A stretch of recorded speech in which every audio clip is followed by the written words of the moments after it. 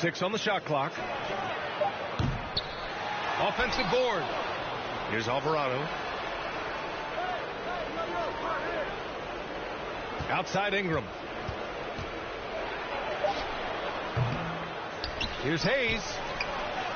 And finally, that.